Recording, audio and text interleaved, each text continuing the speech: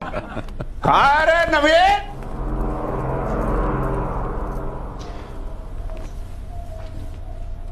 लोग हमको काला नाक कहते हैं। दुमुहा सांप तो तुम निकला रे नवीन। क्या हो गया गौरी बाबू? सब ठीक है ना? ज़्यादा होशियारी ना बतियाओ नवीन। तुमको अच्छी तरह से मालूम है क्या बात है।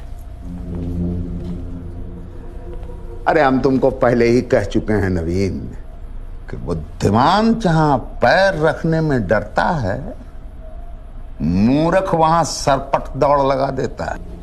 तुम हमारा टिकट नहीं काटे हो। तुम अपने मुख्यमंत्री बनने की संभावनाओं का जड़ काटे हो नवीन।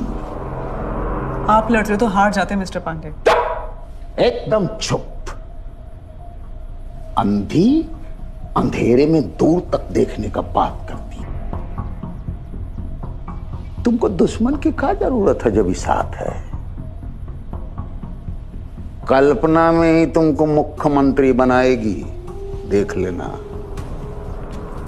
और ये जो भाण खड़ा किया है सुपरस्टार, उसको दस हज़ार वोट से ज़्यादा से ना हरा है ना? तो गौरी शंकर पांडे राजनीति छोड़ देगा।